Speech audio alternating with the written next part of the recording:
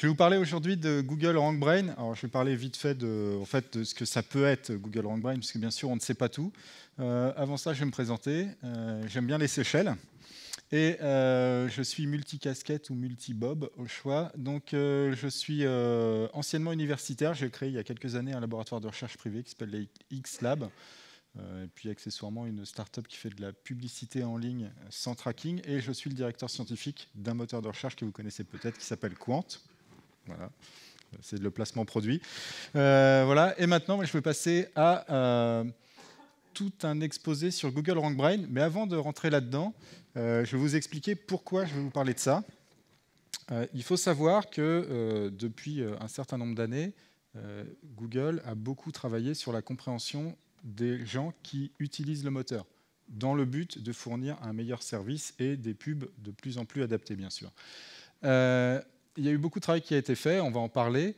Et ce qui se passe, c'est qu'il y a eu une bascule dans les derniers mois, ou disons dans la dernière année, avec l'introduction de nouvelles techniques liées en particulier à la recherche en intelligence artificielle. Alors, je n'aime pas tellement dire de ce mot-là, on parle plutôt d'apprentissage automatique ou de machine learning. Et euh, toutes ces recherches qui ont été menées chez Google pendant des années ont culminé avec, il y a quelques mois, la sortie plus ou moins officielle, mais probablement que ça existait déjà avant, de quelque chose qu'ils ont appelé RankBrain. Et donc, on va parler de ça euh, aujourd'hui dans cet exposé. Alors la première chose dont je vais vous parler, c'est qu'est-ce qu'un moteur de recherche? Euh, Parce que si on veut comprendre comment faire pour travailler sur l'intention des utilisateurs, quand ils utilisent un moteur de recherche, il faut d'abord comprendre ce qu'est vraiment un moteur de recherche. Et déjà, il faut savoir qu'il y, a une espèce de mécompréhension. Donc, en haut, j'ai mis ici euh, un petit screenshot de Google avec euh, une requête qui est tapée « Comment changer une batterie ?» et Google qui renvoie une photo ici avec un titre, etc. vous connaissez l'histoire. C'est en fait un lien vers une vidéo Dailymotion, oui, ça existe encore, euh, qui explique comment changer une batterie. Et pour la plupart des gens, un moteur de recherche, c'est un site dont la vocation est de renvoyer des résultats pertinents. Il faut définir ce que ça veut dire, mais des résultats pertinents pour une requête donnée. Donc je pense que la plupart des gens dans la salle pensent qu'un moteur de recherche, c'est ça. Oui ou non? C'est timide. Vous sentez qu'il y a un piège, peut-être en fait, vous pensez tous oui, bien sûr, mais la réponse c'est c'est pas vraiment que ça. En fait, la requête, c'est un artifice qui sert à communiquer avec le moteur. Mais la requête, c'est pas forcément euh, ce qui va vraiment intéresser le moteur. Le moteur, lui, il est intéressé non pas par la requête, même si c'est ce que vous lui donnez, mais il est intéressé par ce qu'on appelle le besoin informationnel. Le besoin informationnel, c'est ce que vous avez dans le cerveau que vous traduisez par une requête pour faire une recherche sur le moteur. Donc, ce qui compte, c'est le besoin informationnel, le sujet sur lequel vous voulez vous renseigner. Quand vous tapez comment changer une batterie, c'est assez clair. Vous avez peut-être votre voiture qui est en panne, il faut changer la batterie, vous ne savez pas comment faire. Vous tapez comment changer une batterie. Parfois, on va voir que ça peut être euh, un petit peu plus vicieux. Alors, le problème du besoin informationnel, c'est que c'est un état cognitif individuel et caché. Qu'est-ce que ça veut dire? C'est dans votre cerveau. Vous pouvez avoir votre état de votre cerveau qui n'est pas le même que celui du cerveau de votre voisin, et c'est caché puisque, jusqu'à preuve du contraire, on ne sait pas lire dans le cerveau des personnes. Donc vous, vous avez une envie, et vous allez l'exprimer par une requête. Et euh, le moteur, il a la requête pour travailler, mais en vérité, il doit comprendre votre besoin informationnel, même si vous avez tapé une requête qui ne correspond pas réellement au besoin informationnel. Donc tout le problème pour le moteur, c'est comment faire le lien entre la requête et le besoin informationnel.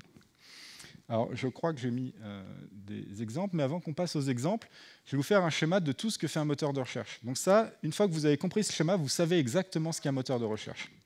Le moteur de recherche, il parcourt le web, magnifique triangle, via ce qu'on appelle un bot ou un spider ou un robot. Pour Google, c'est le Googlebot. Et quand il parcourt le web, qu'est-ce qu'il fait? Il crawl les pages les unes derrière les autres pour les indexer.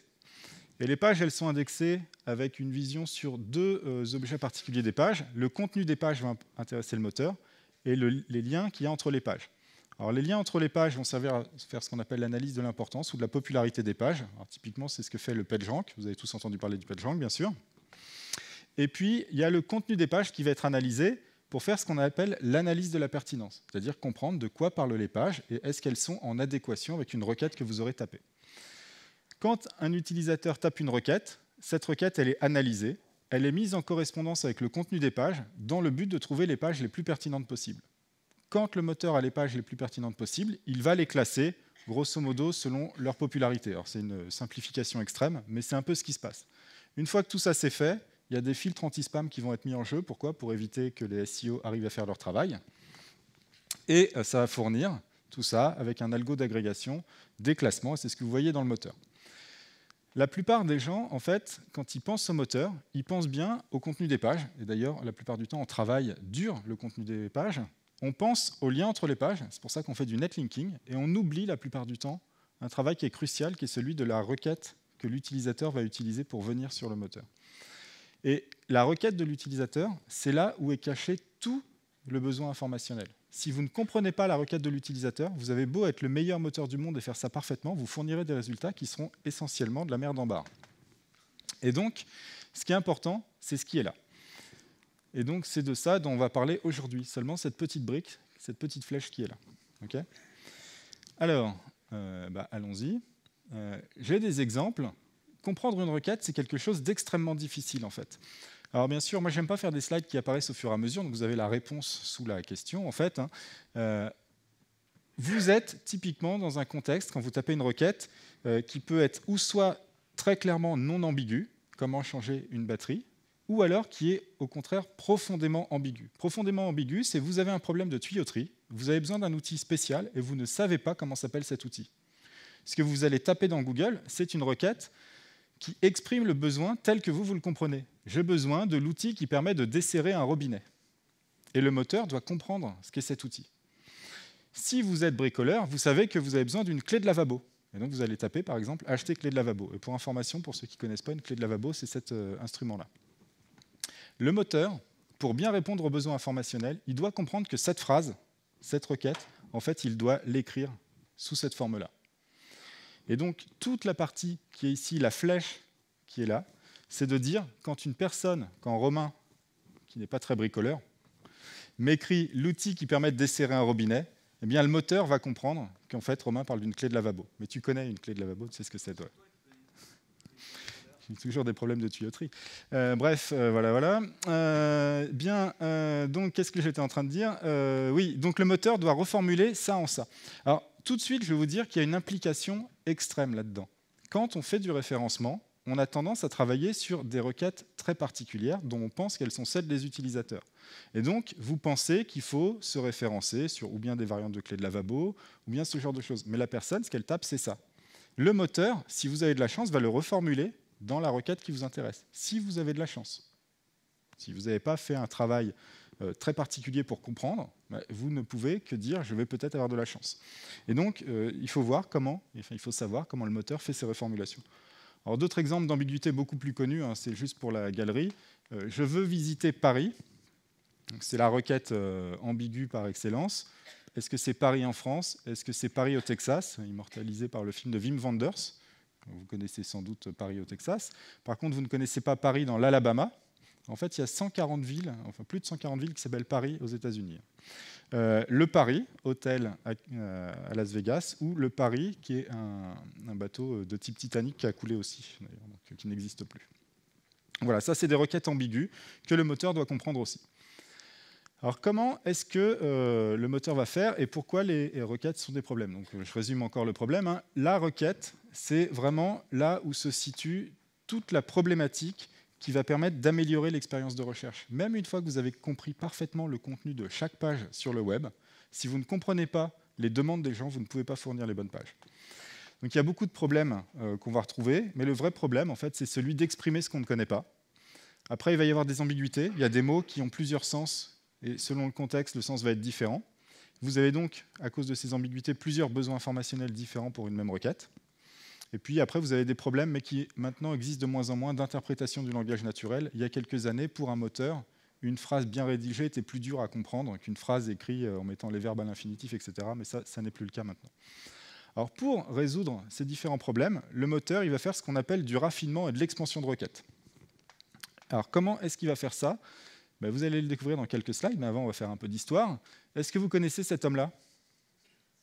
Ah oui, j'entends pas. Oui, c'est Amit Singhal. Donc Amit Singhal, euh, qui est euh, rentré chez Google en 2002 ou 2003, je ne sais plus, c'est réellement l'architecte du moteur Google tel que vous le connaissiez jusqu'en 2012 à peu près. C'est-à-dire que quand il est arrivé chez Google, il a réécrit tous les algorithmes et il a réécrit tout le moteur complètement de A à Z.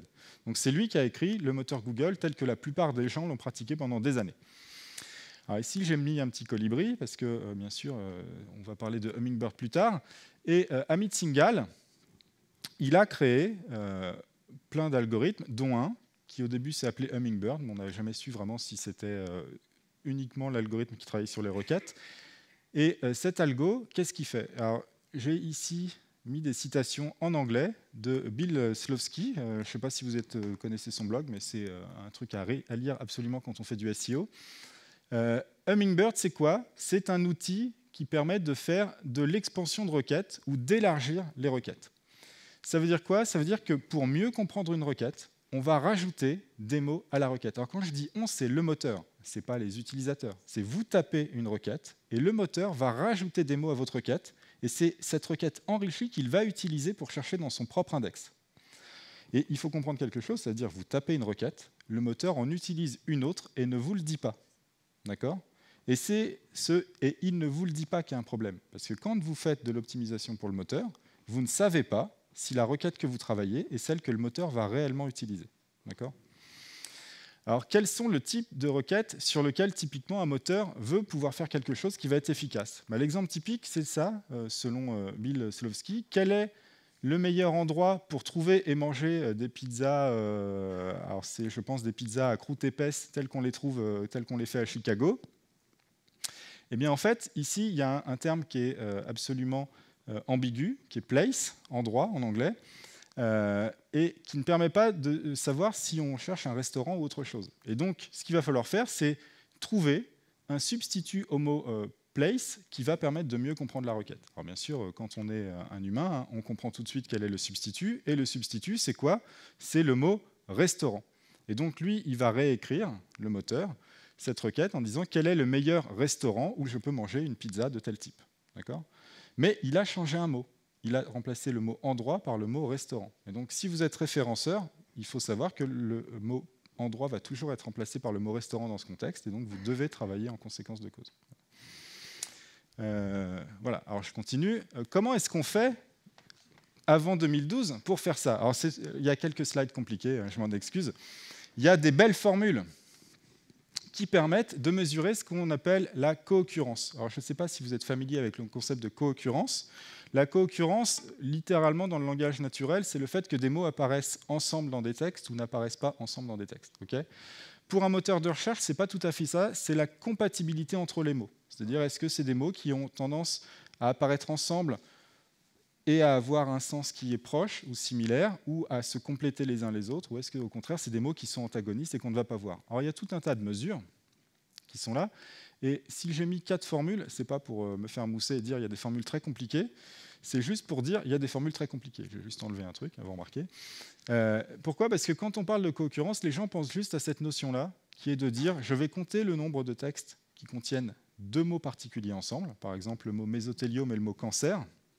Puis je vais compter les textes qui contiennent qu'un mot et que l'autre, et je vais donc regarder la proportion de mots qui essentiellement parlent de cancer, avec l'un ou des deux termes, par rapport à la proportion de textes qui euh, contiennent euh, ou l'un ou l'autre. Je ne sais plus si je dis comme il fallait, mais vous avez compris, la proportion de ceux qui contiennent les deux par rapport à, à ceux qui ne contiennent que l'un ou l'autre. Et ça me permet de définir une compatibilité des deux mots. Si deux mots ont tendance à apparaître souvent ensemble, c'est qu'ils sont très fortement compatibles. Si deux mots ont tendance à apparaître avec une très faible proportion ensemble dans des textes, c'est qu'ils vont très peu ensemble et qu'ils sont très peu compatibles. Quand on a calculé des co-occurrences, avec cette formule qui est très simple, ou au contraire avec une formule plus compliquée. Vous êtes peut-être, si vous avez fait des statistiques dans le temps, euh, dans vos études, familier avec le, concept de Ki2.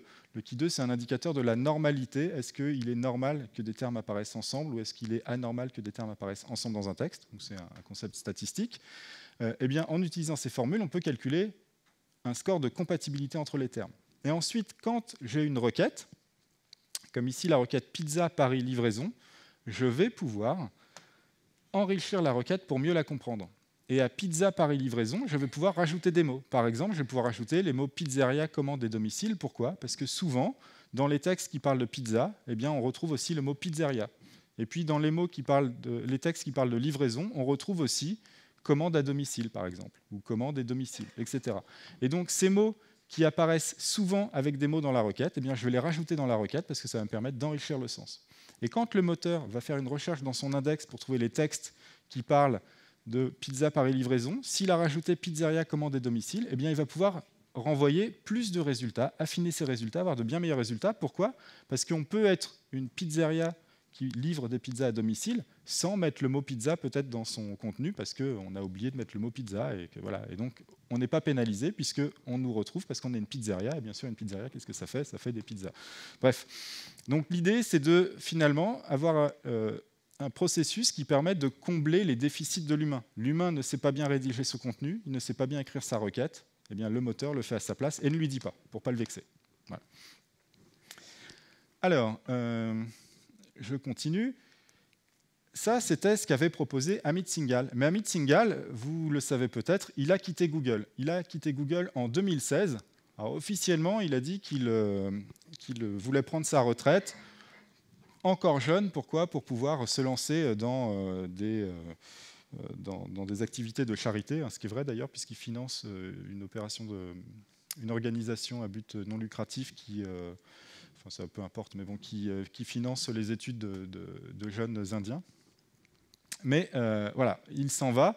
Et en fait, la, réalité, hein, c'est pas il s'en va pas parce qu'il veut prendre sa retraite, il s'en va parce qu'il n'est pas d'accord à l'époque avec la manière dont Google est en train d'orienter ses choix technologiques. Il faut savoir que Amit Singhal, c'est un algorithmicien à l'ancienne. Alors c'était le thésard de euh, Salton, Gérard Salton, pour ceux qui ont déjà entendu parler de cosinus de Salton. Donc c'est un algorithmicien qui manipule bien l'algorithmique des années 60 à 90, on va dire, et qui est un peu resté là-dedans. Et il se trouve que depuis 2014-2015, il y a un courant de pensée qui est en train d'écraser tous les autres, qui est celui de l'intelligence artificielle ou du machine learning, dans l'apprentissage automatique. Larry Page et Sergey Brin, dès qu'ils ont vu qu'on pouvait commencer à faire des choses avec le machine learning, ils se sont mis là-dedans à fond. Ils ont orienté des gros budgets là-dessus. Amit Singhal, lui, a toujours été en désaccord sur l'intégration du machine learning dans le moteur Google. Pourquoi? Parce qu'on perd, quand on fait du machine learning, la capacité à comprendre ce que la machine fait. Et lui, il voulait que la machine puisse toujours comprendre ce qui était fait, euh, que pardon, l'humain puisse toujours comprendre ce que la machine était en train de faire. Et donc, Amit Singhal euh, était en désaccord, puis ça s'est larvé, ça s'est larvé, il a fini par partir quand il a vu que de toute façon, euh, le point de vue des chefs ne changerait pas. Il a été remplacé par cet homme-là, John Gianandrea. Vous n'en avez jamais entendu parler, je pense. Euh, John Gianandrea, c'est le fondateur d'une boîte qui s'appelle MetaWeb, MetaWeb Technology, euh, qui s'était donné pour but de rassembler toute la connaissance humaine dans un graphe de connaissances qui serait fourni plus tard à une intelligence artificielle quand elle existerait. Euh, MetaWeb a été racheté par Google dans les années 2010-2011, je ne sais plus exactement. Et MetaWeb, c'est en fait le cœur de ce qu'on appelle le knowledge graph. En fait, vous connaissez MetaWeb Technologies sans le savoir.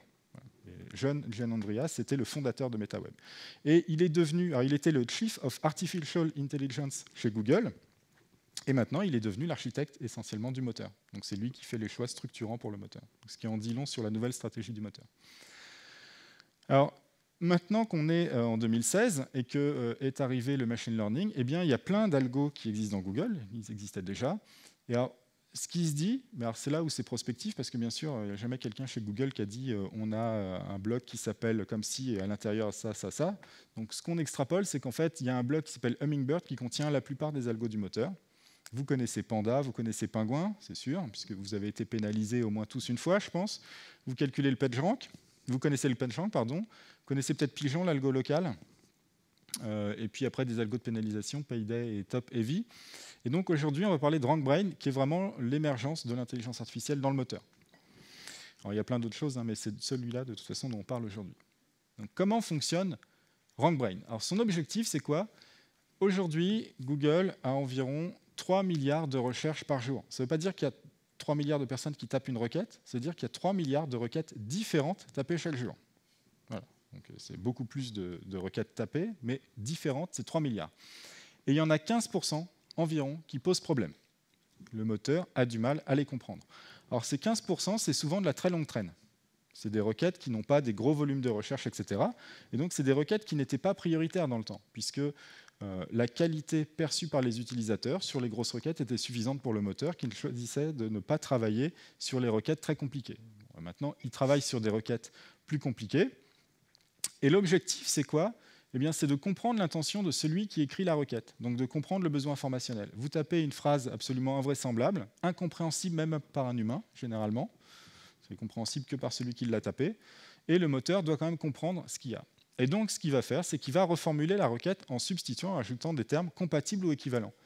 Dit comme ça, ça a l'air d'être exactement la même chose que ça.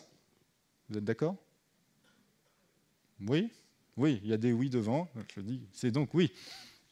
Alors effectivement, le principe est le même. On va avoir quelque chose qui a les mêmes objectifs. Par contre, c'est comment on fait qui va être euh, important. Alors, un exemple, alors ça, c'est celui-là, c'est un exemple qui est vrai. Euh, New York Times Puzzle, c'est dans un des brevets de Google. Eh bien, c'est réécrit par le système comme puzzle, c'est le mot crossword, et donc du New York Times. Donc c'est euh, là, on spécifie. Alors là, c'est, je ne sais pas comment le traduire en français, mais puzzle, c'est peut-être casse-tête, grosso modo, et crossword, c'est bien sûr les mots croisés. Donc là, vous cherchez euh, le, jeu qui fait réfléchir du New York Times, et là, en fait, bah, le moteur comprend que vous cherchez les mots croisés du New York Times, qui fait une reformulation. Une autre formulation, alors là, vous pouvez trouver vous-même, quelle est la règle de football près du but? Pour ceux qui font du foot ou qui sont intéressés au foot, ils savent sans doute de quoi je veux parler, c'est qu'est-ce que le hors-jeu en football? Mais imaginez, vous ne connaissez rien au foot. Vous regardez un match de foot par hasard dans un bar, il se passe un truc près du but, et là, euh, quelqu'un marque un but, mais d'un seul coup, euh, celui qui commande dit maintenant le but ne compte pas. Alors vous, mais pourquoi? Donc vous tapez dans Google quelle est la règle de football près du but, parce que vous ne savez pas que ça s'appelle le hors-jeu. Et le moteur comprend qu'est-ce que le hors-jeu en football. Aujourd'hui, si dans Google vous tapez ça, en tout cas hier c'était le cas, si vous tapez ça, il vous renvoie une réponse à cette question. D'accord? Et c'est assez amusant, c'est que vous pouvez essayer de dégrader de plus en plus cette phrase pour voir à quel moment les résultats changent et on vous renvoie autre chose que du hors-jeu. C'est assez intéressant parce que ça montre à quel moment il n'est plus capable de reformuler. Mais aujourd'hui, cette question, elle est reformulée en cette question. D'accord? Hmm Automatiquement. C'est-à-dire que vous n'avez rien à faire, c'est fait tout seul. Alors, comment ça marche pour faire ça? Il y a une personne qui est très importante chez Google, qui est celui qui est l'architecte de ce système. Il s'appelle Greg Corrado. Il est ici, c'est un chercheur en intelligence artificielle. Et euh, voilà comment on va faire pour faire les choses. Alors, il y a un tout petit peu de technique, mais vraiment très très peu. C'est juste pour vous donner l'idée. Euh, il y a des choses qui sont euh, déjà connues, hein, peut-être de certains d'entre vous. Tous les textes qui sont dans l'index du moteur ne sont pas stockés sous forme textuelle. Ils sont stockés sous forme d'un vecteur, une quantité mathématique. D'accord? Et les vecteurs vont être corrélés entre eux, c'est-à-dire qu'il va y avoir des liens entre les vecteurs euh, selon, euh, selon des relations entre les mots qui sont représentés par les vecteurs. D'accord? Donc il y a plusieurs types de relations. ici, c'est des exemples hein, qui sont réels, hein, c'est dans, le, dans, les blogs de Google que vous pouvez trouver ça. Et vous avez par exemple le mot king, qui après une analyse de l'index est relié au mot queen avec la relation euh, homme-femme.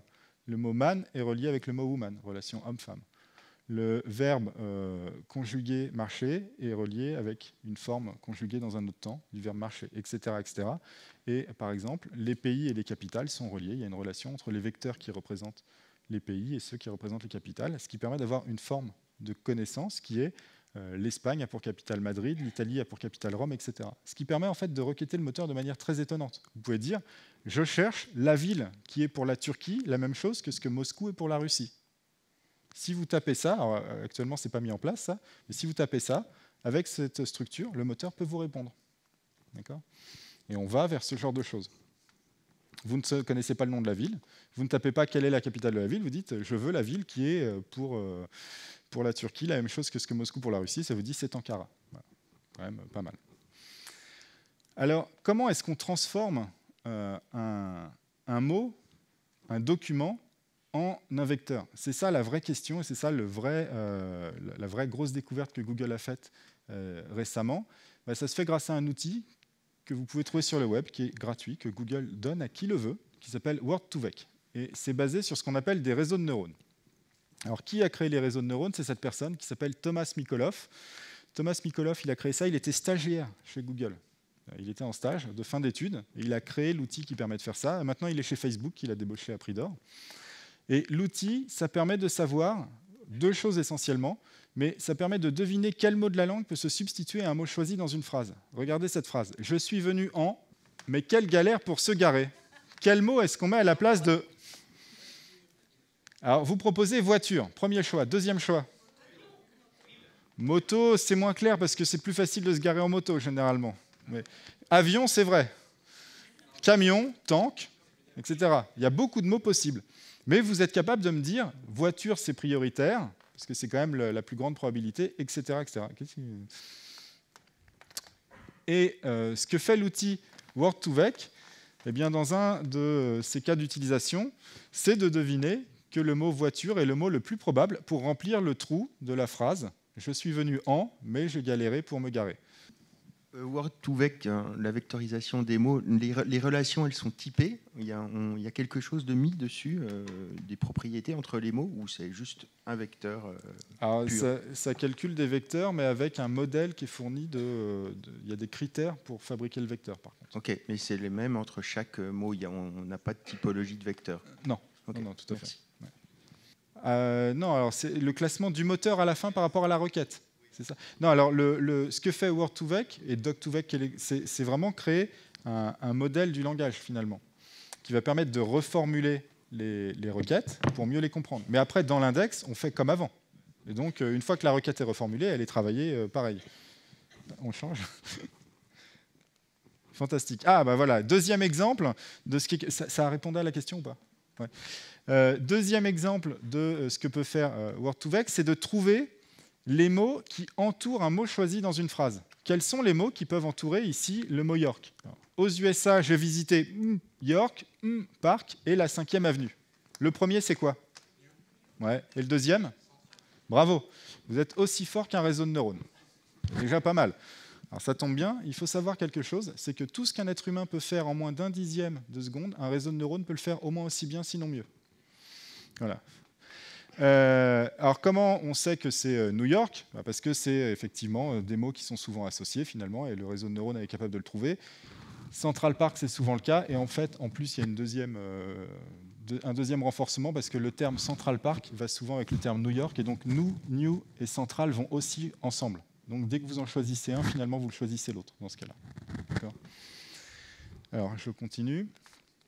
Qu'est-ce qu'un réseau de neurones? Qui sait dans la salle ce qu'est un réseau de neurones? Personne hmm? Ouais, alors c'est une, vision idéalisée des neurones du cerveau. Voilà, alors ici, vous avez une vision idéalisée d'un réseau une vision idéalisée d'un neurone du cerveau. Alors, comment fonctionne un réseau de neurones? C'est un ensemble de routines mathématiques. Ça prend en entrée des valeurs. J'ai un exemple après de faux réseaux de neurones, hein, pour que vous compreniez mieux. Chaque valeur qui est prise en entrée va avoir un poids, et il va y avoir un calcul qui va être fait entre les poids qui va donner une valeur numérique. Et sur cette valeur numérique, ben, je vais faire une action pour prendre une décision. Par exemple, est-ce que, je calcule, je sais pas, l'équivalent d'un pourcentage, est-ce que c'est plus ou moins de 70% Ma décision, c'est est-ce que c'est plus ou moins de 70% Et si c'est le cas, je fais une action. Alors, euh, ça, c'est pas de moi, ce dessin, c'est Wikipédia. Les réseaux de neurones, euh, c'est ce qu'on appelle de l'apprentissage automatique. Ça peut être supervisé, c'est-à-dire que vous pouvez leur apprendre des choses. Vous dites, voilà, là, tu vois un chat, là, tu vois un chien. Vous lui dites, bah, apprends ce qu'est un chat, apprends ce qu'est un chien, etc. Vous avez donc des algos d'entraînement qui permettent de calibrer tout ce qui doit être calibré ici.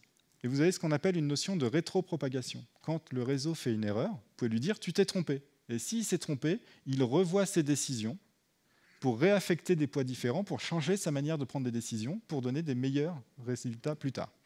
Et il y a une notion de couche. Pourquoi? Parce qu'on match ce que fait le cerveau, c'est celui-là maintenant, passer là d'abord, qui est le cerveau, il se spécialise couche par couche. Et donc le réseau de neurones, il va faire pareil, on va empiler des couches de neurones qui font des choix spécialisés. Et donc par exemple, si vous voulez reconnaître une photo, par exemple une image de loutre, vous voulez reconnaître qu'il y a une loutre, eh bien vous allez commencer par regarder à un premier niveau la forme de l'animal, puis ensuite vous allez regarder la couleur du poil de l'animal, puis etc., etc. Et pour ça, vous allez avoir des couches spécialisées. Et à la fin, vous direz, j'ai reconnu une loutre. Voilà. Il y a toujours une loutre dans tous mes transparents. Bravo, merci. Mais ça marche pas ça. Parce qu'en fait, euh, toutes ces il met Pourquoi pas? Chacun ses trucs. Euh, pour vous mieux vous faire comprendre ce qu'est un réseau de neurones, j'ai un petit exemple. Alors bien sûr, c'est pas un vrai réseau, c'est pas un réseau de neurones. C'est pour vous montrer le principe de ce qu'est un réseau de neurones. Vous connaissez tous le jeu d'Othello? Sur le là-bas à droite, qui gagne? Les blancs ou les noirs? Les noirs. Qui a compté pour dire les noirs? Personne. Si Tu as vraiment compté? Ah, donc, tu comptes vite alors. Mais normalement, à l'œil, on se rend compte tout de suite que c'est les noirs. Ça vous paraît pas évident? Ah bon? Il y a un écart, exactement. Euh, en fait, on se rend compte que c'est les noirs, euh, normalement, sans trop compter. Alors, comment est-ce qu'on peut faire pour faire la même chose euh, en, je sais pas comment dire, réseau de neurones style J'ai des valeurs qu'il faut que je choisisse. Ces valeurs, c'est noir et blanc. Chacune des valeurs, des types de valeurs, se voit associer un poids. Noir, ça vaut plus 1, blanc, ça vaut moins 1. J'ai une fonction de combinaison. Cette fonction de combinaison, elle fait la somme des poids qui sont donnés en entrée. Donc si j'ai deux noirs, je fais plus 1, plus 1, ça fait plus 2. Si j'ai un noir, un blanc, ça fait plus 1, moins 1, ça fait 0. Donc maintenant, vous avez peut-être compris que s'il y a plus de noirs que de blancs, bah, la somme, elle est strictement positive. S'il y a plus de blancs que de noirs, elle est strictement négative. Et s'il y a autant de noirs que de blancs, euh, ça vaut 0. Et donc j'ai ici une fonction d'activation avec un seuil qui va simplement regarder si la somme, elle est positive, négative ou égale à 0. Et ça va me renvoyer une décision. Ici, j'ai quelque chose, ce n'est pas un réseau de neurones, parce que en fait, pas vrai comme ça, mais pour l'idée, ça permet de voir qui gagne à Othello avec des valeurs, des poids associés, une fonction de combinaison, une activation par rapport à la valeur de la somme, et ça renvoie un résultat. Donc c'est très simple en fait. Vous êtes tous d'accord que c'est très simple. Maintenant, vous savez tous faire des réseaux de neurones. Alors bien sûr, en pratique, c'est plus compliqué. Euh, mais ça permet de calculer euh, des vecteurs de euh, cette manière-là. Et donc ici, on a un exemple, ça c'est un exemple réel. La phrase les Cardinals vont gagner les championnats du monde, donc j'imagine que c'est ou du baseball ou un truc comme ça.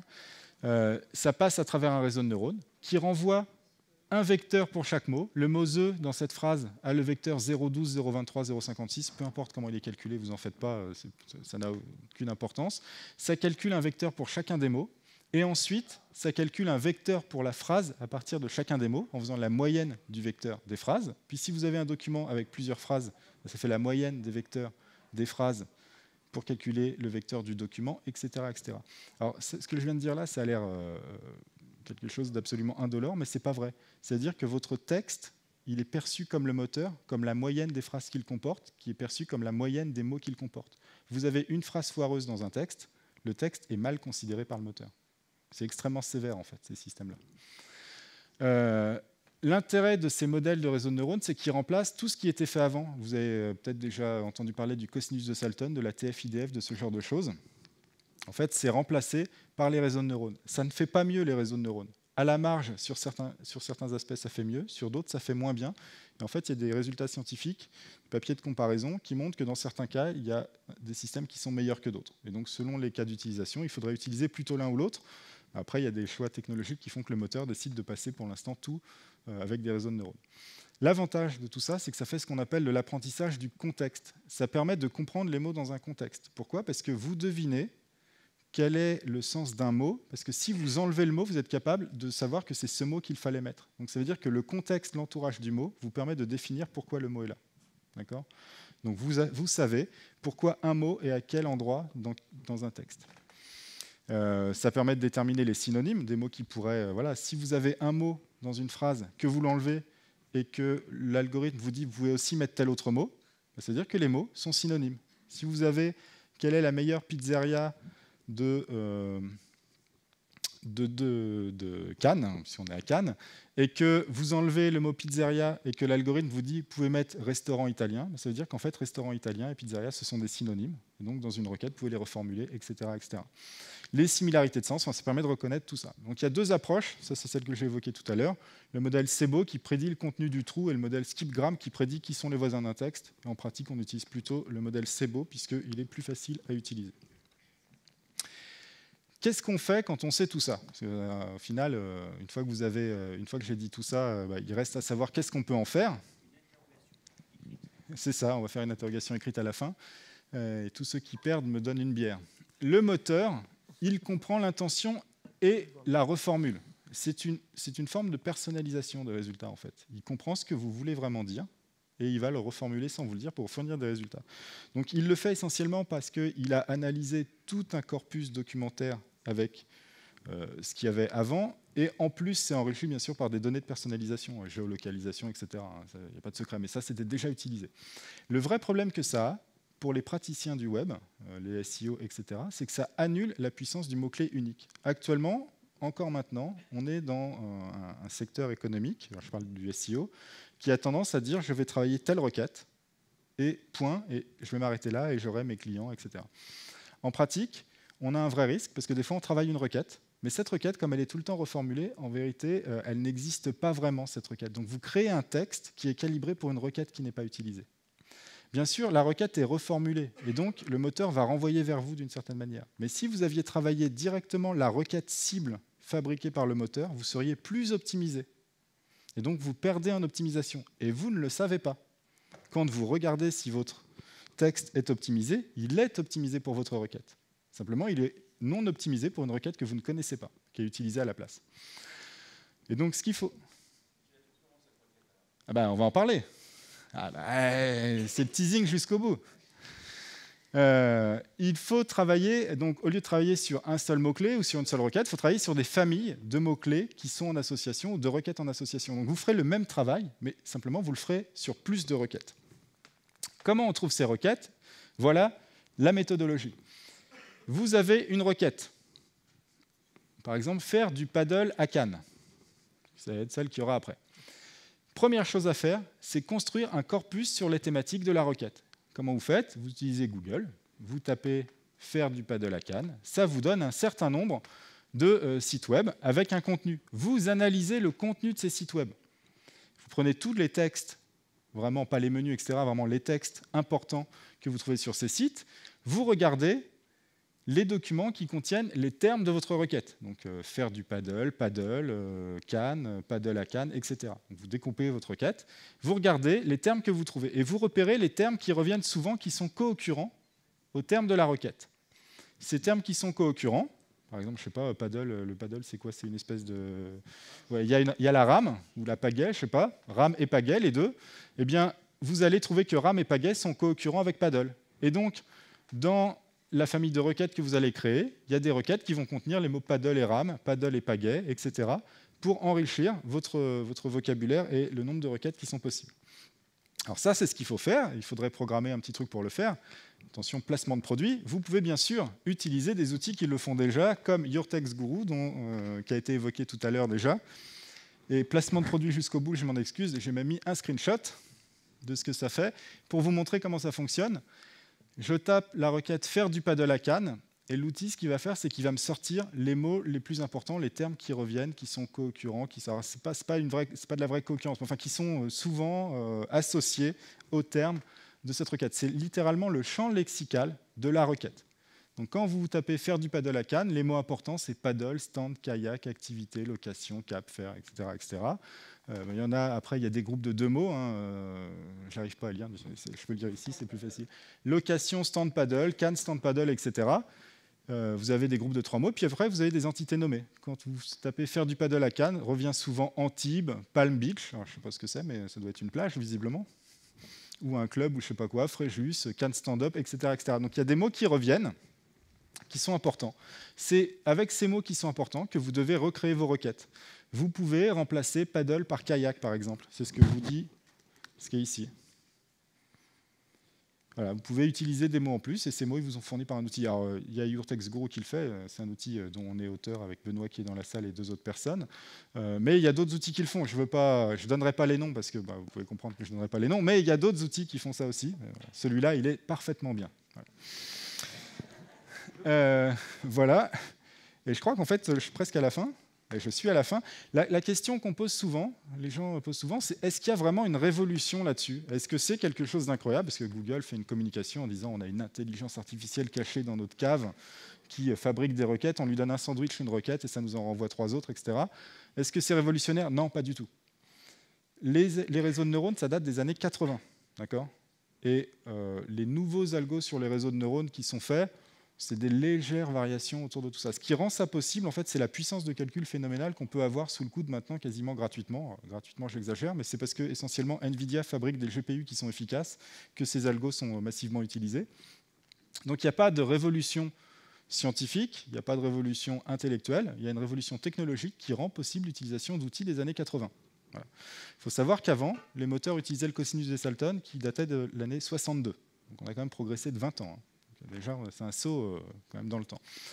RankBrain, c'est la version Google. En fait, ça existe chez Microsoft et ça s'appelle RankNet. Bing utilise un truc qui s'appelle RankNet qui fait le même genre de choses. D'accord? Donc ce n'est pas une technologie euh, incroyable que seul Google possède. Il y a d'autres acteurs qui la possèdent, dont Bing. Voilà, et je crois que euh, mon dernier slide, c'est un peu abusé, mais voilà, si vous voulez continuer cette discussion, c'est possible à Deauville au mois d'avril. Je vous remercie.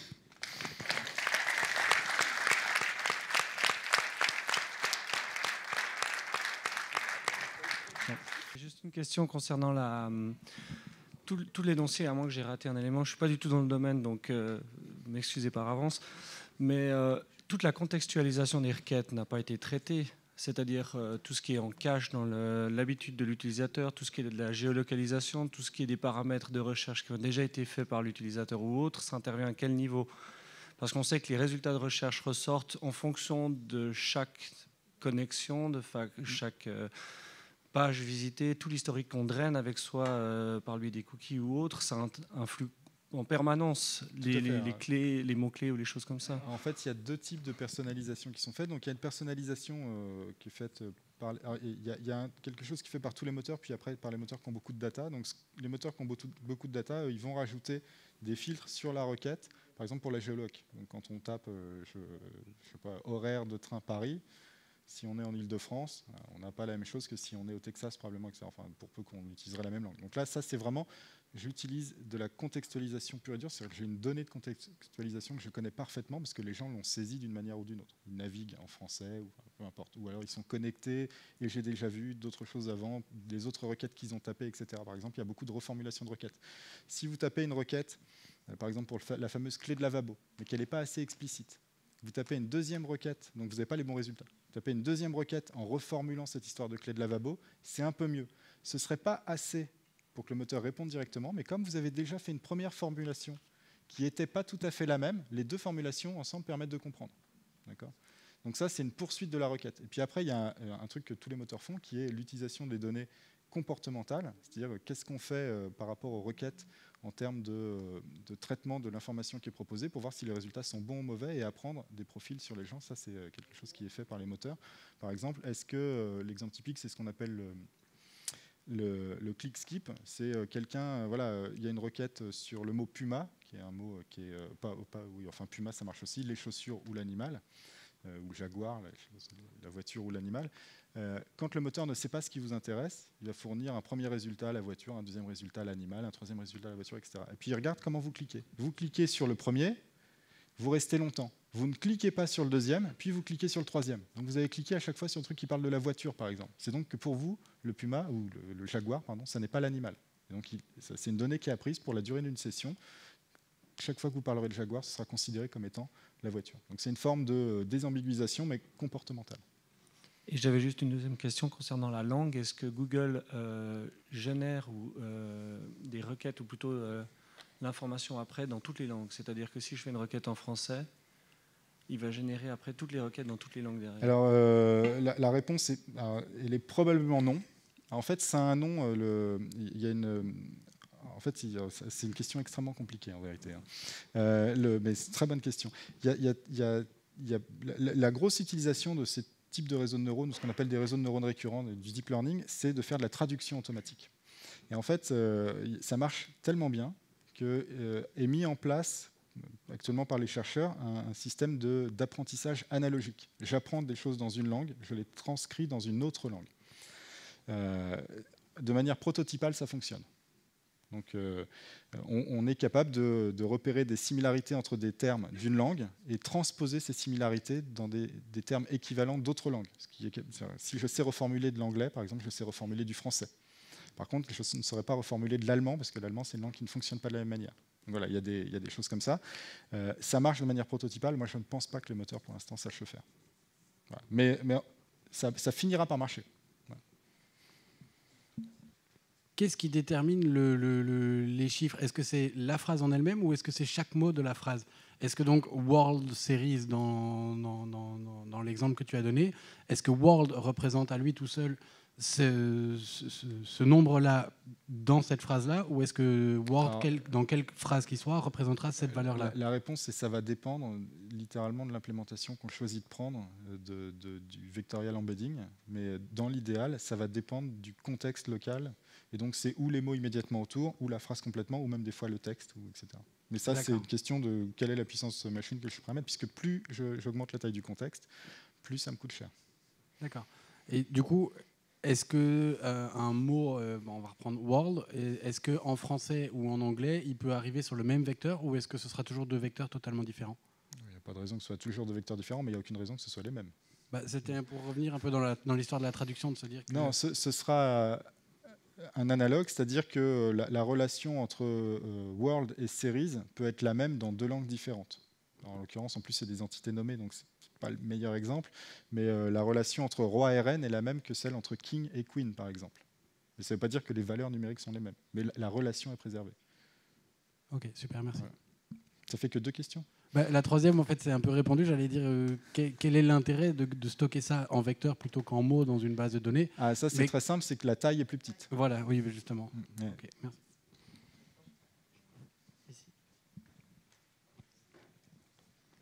Vous m'entendez? Ouais.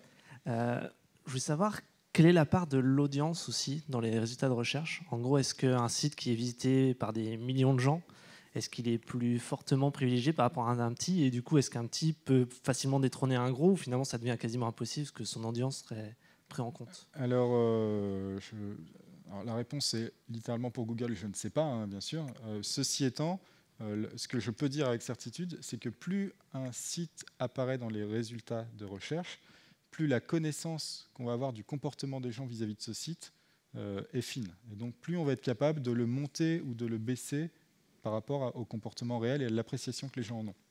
Il faut savoir que c'est ce qu'on appelle du re-ranking, donc de, de ranker différemment les sites selon leur performance les uns par rapport aux autres dans les SERP. Euh, chez euh, Microsoft, ils avaient fait un article de recherche là-dessus. Ils disaient que le re-ranking améliorait de 15% la qualité perçue d'un moteur, par exemple. Donc juste en comparant le comportement. Par contre, le nombre de visiteurs, ça, je ne sais pas. C'est- un critère comportemental parmi tous les autres, mais c'est un qui est facile à truander. Donc même si on a envie de l'utiliser, euh, on n'a pas non plus envie de l'utiliser à cause de ça, euh, parce que c'est trop facile de tricher. Oui, bonjour. euh, Bonjour. Dans une expression de longue traîne, je voudrais savoir si le moteur de recherche donne une importance primordiale au premier ou au premier et deuxième mot, bien plus qu'au mot suivant. Je, je ne vois aucune raison pour que ce soit le cas. Ce qui va être sûr, c'est que les entités nommées auront plus de poids que les autres. Donc les noms de personnes, les noms de lieux, etc. Mais sinon, le- les premiers mots, il n'y a pas de raison, sauf quand c'est des mots, mais parce qu'ils auront plus de poids, parce qu'ils catégorisent la requête, si c'est des mots qui sont intentionnels en eux-mêmes. Pourquoi, comment, etc. sont des mots qui ont plus de valeur en eux-mêmes parce qu'ils donnent une, une- idée sur l'intention. Acheter, c'est aussi un mot, mais c'est pas parce que c'est le premier, c'est parce que c'est le mot acheter. Euh, ma question, c'est est-ce qu'on est sûr que, ou est-ce que Google dit qu'il livre la donnée brute, c'est-à-dire la véritable requête euh, qui, euh, je pense que Yoda va chercher dans le moteur de recherche, enfin, prend la donnée chez Google. Est-ce que Google s'engage à livrer de la donnée réelle, c'est-à-dire réellement tapée par le par le- l'internaute, ou bien est-ce qu'elle peut être éventuellement convertie Hmm. avec ces, ces phénomènes de co-occurrence, etc. Est-ce qu'il y a un engagement de Google de donner Non, il n'y a pas d'engagement, mais je pense qu'il a tout intérêt à fournir de la data. Rien que pour AdWords. Donc il y, a- une jonction, je pense, avec AdWords qui est quand même a- assez importante. Et donc, euh, entre le mot-clé qu'il fournit et entre le- les résultats qu'il fournissent, je sais pas. Je, pense qu'il s'engage à rien, mais par contre, euh, on peut euh, faire un reverse engineering bah, en, utilisant, euh, en faisant de la clusterisation de requêtes et en regardant les positionnements par rapport au clustering de requêtes. Les requêtes qui positionnent les mêmes sites à peu près de la même manière sont, probablement des requêtes qui sont en reformulation les unes des autres. Mais eux, ils s'engagent à rien du tout. Enfin, à ma connaissance, ce serait très surprenant en tout cas. C'est-à-dire que même sur les requêtes de longue traîne, ils disent voilà, on en reformule 15%. euh, pour avoir un exemple, c'est la croix la bannière. hein. donc, J'avais une question qui est un peu plus stratégique que technique, mais euh, aujourd'hui on a beaucoup parlé de Google. Mm. Est-ce que pour une marque, optimiser son site et connaître Google, pour- enfin, optimiser son site pour Google, c'est assez, et notamment pour une- un site qui a une visibilité en Asie ou en Russie? Alors pour, euh, pour certaines zones géographiques, non, ça n'est pas assez, puisque ça va en fait, ça dépend uniquement des parts de marché des moteurs. Donc euh, dès, que, les parts de marché sont suffisamment importantes sur un segment clientèle réel identifié, il n'y a pas de raison de, se concentrer que sur Google. L'exemple typique, mais c'était il y a plus quelques années, parce que Google a fini par grignoter, mais à une époque, euh, euh, alors c'était pas Bing, mais c'était MSN à l'époque, était bien positionné chez la ménagère qui cliquait un peu partout sans faire gaffe. Et donc il y avait un intérêt à travailler ce segment-là parce qu'il y avait un segment clientèle identifié qui était rentable. Après, euh, ça va dépendre. Par exemple, en France, et ça m'ennuie de dire ça euh, vu le suite que je porte, mais c'est vrai que pour l'instant, travailler euh, pour autre chose que, que Google, euh, c'est un pari sur l'avenir plus qu'une nécessité économique. Mais j'espère que ça va changer. Mais pour l'instant, voilà. Que Facebook fait aussi pas mal d'efforts sur le- les moteurs de recherche Est-ce qu'un jour il pourrait supplanter euh, Google aussi? C'est une possibilité peut-être? Ouais, globalement, même, on peut se poser la question pour les plateformes, globalement, euh, pas que Facebook. hein. Euh, euh, oui, sur certains secteurs, ils prendront forcément la part. Surtout que y a aussi le modèle économique des moteurs. On ne sait pas jusqu'à quand il est viable, parce que, par exemple, euh, la pub, littéralement, dans les résultats de recherche, elle n'a de sens que parce qu'il y a une interface sur laquelle on peut l'afficher. Le jour où on passe, par exemple, en vocal totalement, où est-ce qu'on met la pub donc voilà, là, et donc les plateformes, elles continueront à avoir un trafic et peut-être à réussir à le monétiser. Donc euh, pour l'instant, euh, une boîte comme Facebook a les moyens de créer un moteur de recherche, etc. Aujourd'hui, créer un moteur de recherche hein, qui tient à peu près la route, ça coûte entre 50 et 100 millions d'euros. C'est le, truc. euh. Et donc Facebook peut bien sûr le faire. La question, c'est est-ce qu'ils ont intérêt à se lancer dans une guerre contre euh, Google, sachant que même Microsoft renonce à cette guerre-là, par exemple? Je pense que. mais ils ils pourraient le faire. Techniquement, c'est possible. Euh, d'un point de vue stratégie d'entreprise, ça me paraît. euh, je je suis pas, suis pas patron de Facebook, donc. euh, mais voilà. Bonjour, j'avais trois petites questions. La première, c'est est-ce que Quant, parce que vous en avez parlé au tout début, utilise aussi ce type de stratégie, notamment en intelligence artificielle Euh, je, peux- je voulais- Je, je vais répondre directement à la première déjà. Euh, bah, je ne sais pas, et en tout cas, si je le savais, je n'aurais pas le droit d'en parler. Voilà. je ne peux pas dire plus. Je- Euh, la deuxième question, c'est concernant la vidéo. Est-ce qu'aujourd'hui, euh, les moteurs de recherche sont capables d'indexer ou de, de- de pouvoir euh, euh, voilà, en faire une vidéo, mais Alors, comme, un- comme un texte, par exemple? Aujourd'hui, ce qu'on sait faire, c'est utiliser des algos de, de- je sais pas le dire en français, de reconnaissance de la parole pour, ou quand il y a des sous-titres, c'est encore mieux, mais extraire du texte pour, pour utiliser ça, pour essayer de comprendre le contenu des vidéos. Il y, a des, choses prototypales qui fonctionnent assez bien, mais bien sûr, ça ne regarde pas ce qui se passe dans la vidéo. Donc, euh, en fait, on peut dire quelque chose qui est différent de ce qui se passe. Notamment, ça marche bien, par exemple, typiquement pour des vidéos, euh, je sais pas, le journal de 20 heures, des trucs comme ça, parce que ce qui est dit, en fait, c'est ce qui est important, c'est pas la vidéo en elle-même qui est importante. Euh, la reconnaissance de ce qui se passe dans des vidéos, euh, on y est presque. C'est-à-dire que maintenant, on sait à peu près regarder ce qui se passe sur des images. Il y a des super exemples, vous pouvez trouver ça chez Facebook chez euh, Google, hein, où ils décrivent le contenu d'une image parfaitement. Et donc, on va arriver à la description de la vidéo, mais pour l'instant, on n'y est pas tout à fait. Pour l'instant, c'est fait à la main avec des gens qui taguent les vidéos quand euh, on fait de la recherche dans la vidéo. Merci. Et puis la troisième question, c'est concernant les échanges de liens. On a entendu beaucoup de choses ces dernières années. Je voulais savoir ce qu'il en était aujourd'hui. Bah, moi, je ne suis pas SEO, il faudrait que quelqu'un d'autre réponde, mais euh, ça dépend ce que vous voulez savoir exactement. Bah, euh, on a entendu que ça pouvait pénaliser, que pas du tout. Enfin, voilà, je, je voulais savoir. Ah, si- Des échanges de liens faits à grande échelle sont repérables par le moteur. Voilà, c'est la réponse que je peux faire. Donc c'est susceptible d'être pénalisé, mais euh, je pense qu'on est pénalisé avant de faire des échanges de liens parce qu'on a des liens de mauvaise qualité notamment, etc. Parce que quand on rentre dans des schémas d'échange de liens, c'est souvent qu'on est sur des réseaux de sites qui sont plutôt de faible qualité et donc on repère plus facilement ça que les échanges de liens en eux-mêmes. Voilà. C'est une réponse euh, de filou, on va dire. Voilà.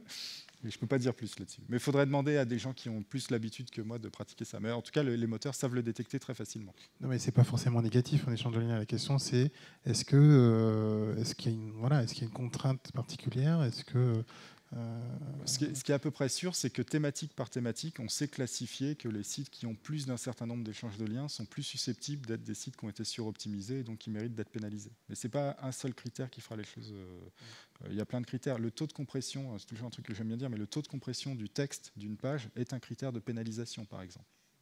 Un texte qui se compresse trop bien ou trop mal sur une page est de mauvaise qualité, on le sait. Et donc, euh, il est ou de mauvaise qualité parce qu'il a été suroptimisé, ou de mauvaise qualité parce qu'il a été sous-optimisé. Donc, c'est un critère. À lui tout seul, ce critère ne permet pas de pénaliser la page. Mais s'il y a ça, plus un site qui a 1000 échanges de liens, euh, en bas de page dans un footer avec 1000 autres sites, voilà, là, on peut commencer à dire, euh, on met un coup de... Mais c'est c'est jamais un seul critère seul qui, qui pénalise, à moins d'avoir vraiment abusé. Merci. Merci.